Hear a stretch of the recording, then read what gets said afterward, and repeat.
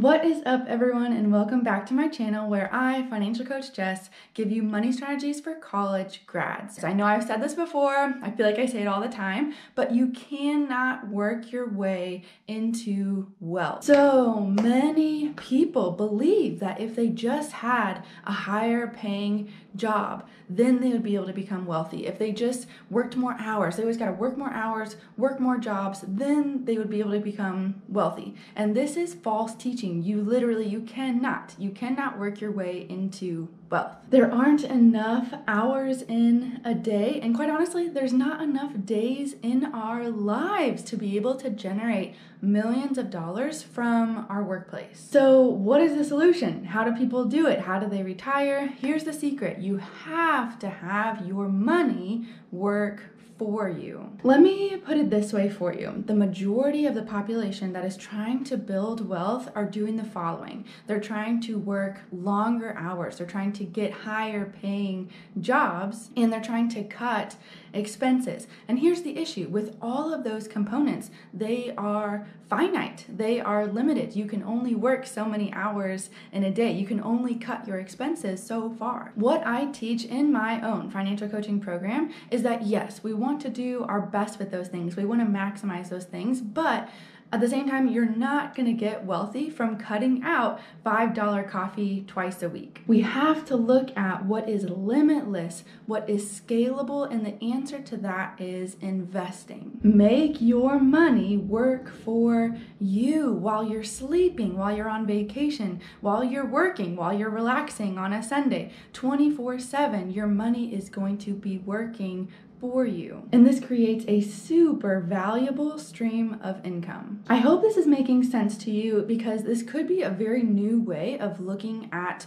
your income. I know growing up in America, we're taught go to school so you can get a good job, so you can get a good income, and that's all good. That's all good things, but it's missing the secret sauce of investing. Investing allows us allows our money to multiply while we go about our life. Why are some people absolutely killing the investing game while other people are not investing at all? I think one of the reasons for that is information overload. With the internet, it's a great thing. We have tons of information, but with unlimited information also becomes decision paralysis. And instead of implementation, people get stuck in the research phase. They don't know who to trust, and it's just this huge information overload. I think another big reason for this is financial illiteracy. So, thinking that Social Security is going to be enough, being unaware of how expensive assisted living is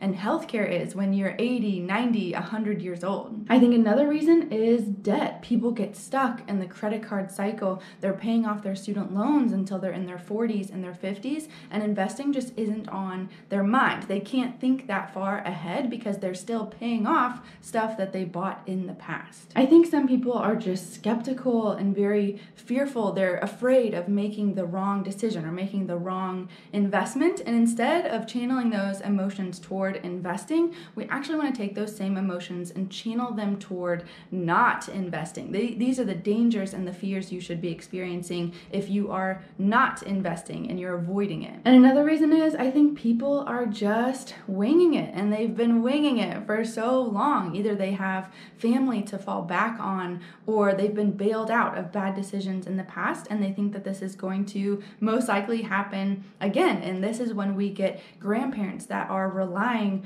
on their children to financially support them and their children also have children that they're financially supporting and it really just becomes this huge mess when people are winging their finances. Let's talk for a moment about what investing is not. Investing is not putting your money into a high yield savings account. I love high yield savings account, but the purpose of it is not to invest. It's not to see your money multiply seven, eight, nine times while you sleep, right? The interest rate on a high yield savings account is usually between 1 and 2%. With inflation being pretty close to 3%, this is actually going to give us a negative return over the long haul. So, high yield savings account, even though I love them, they are not investing. Investing is also not just putting money into a IRA, a Roth IRA, or a brokerage account. This can be a devastating mistake because people just dump money into these accounts, but that's the first step. Then you have to actually invest the money once it's in that account. Without investing the money once it's in those accounts, it's basically just a savings account. Your money isn't actually doing anything. So make sure once you transfer the money into an IRA, a Roth IRA, you then take that money and invest it. Here's a helpful graphic to depict big picture investing through a brokerage. I used Charles Schwab, Vanguard, and Fidelity as my examples.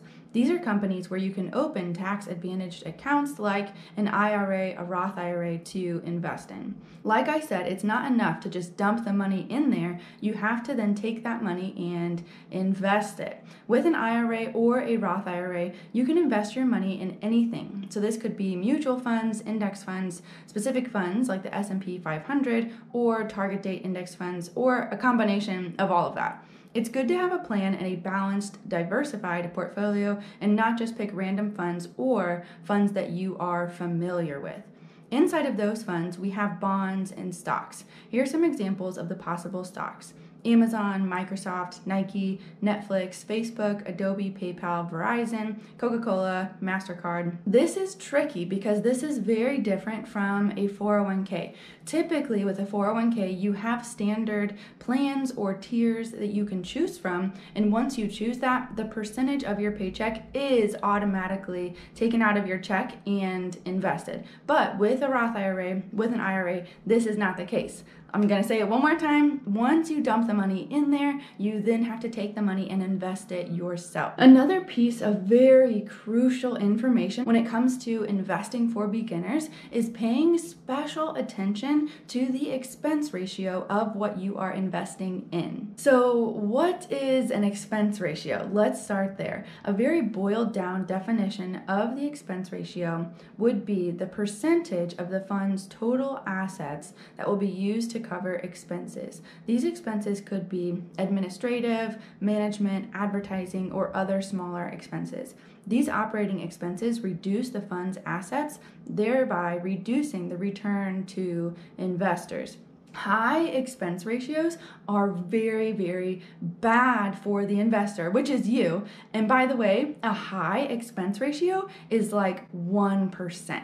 If this is new information for you, I know for a fact right now you're thinking, Jess, 1% is not high. You need to calm down. But here's the thing you have got to think of it this way a 1% fee on your total asset, if you get an 8% return on that asset, 1% fee takes that return down to 7%. So, guess what? You just lost 12.5% of your total return. Boom math. You're going to want to rewind and watch that again because your 1% fee that was really, really small just turned into a 12.5% fee. Seriously, don't gloss over this. If that didn't make sense to you, rewind that and watch it again. This is so important. Here's a very real life example. Let's say you have a million dollars sitting in a mutual fund with a 1% expense ratio.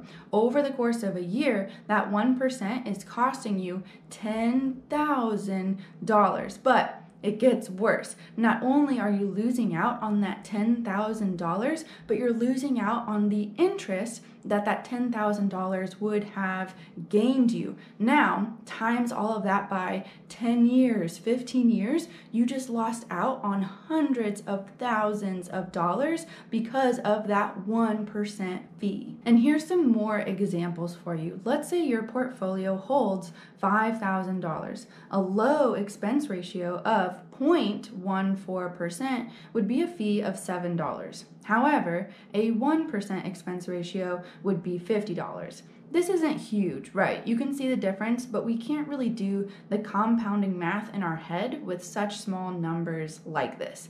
Take a look at the middle here. Your $100,000 investment could have a 0.14% expense ratio again, and the fee would be 140. Or with a 1% expense ratio, this would be $1,000. These are quite a bit different now. Not only are you losing out on that $1,000 every year, but you're losing out on the interest that the $1,000 would have generated for you year after year after year. You can see the stark difference at the bottom again with the million dollars. Compounding interest messes up the straightforward math that we are used to. It turns 1% into hundreds of thousands of dollars lost over the lifetime of an investment. Hopefully, you're starting to see that this 1% matters. Actually, I would say anything over 0.7% is becoming very, very expensive when it comes to investments. By industry standard, I'll reiterate again anything over 0.7% is becoming very expensive. And you can see from the math that we've done today, it really erodes a lot of money away from your investments over its lifetime. You really, really want to strive to get low expense ratios on your investments. And by low, I mean anything really under 0.2% is going to be good. Obviously, the lower the better in terms of expense ratios. A quick side note here is that if you're working with an advisor, there could be other fees besides the expense ratio. So these could look like monthly maintenance fees, annual fees, marketing fees, transaction fees. So really be aware. If there's other fees on your investments, you need to be well versed on what those are. So far in this video, I've warned you about the accounts. You can't just dump money in the accounts. You actually have to invest that money. And I've also warned you about expense ratios. We're shooting for very low expense ratios. My third piece of very crucial advice for beginner investors is to not put so much emphasis on the individual price of a stock or a fund. The share price is very counterintuitive,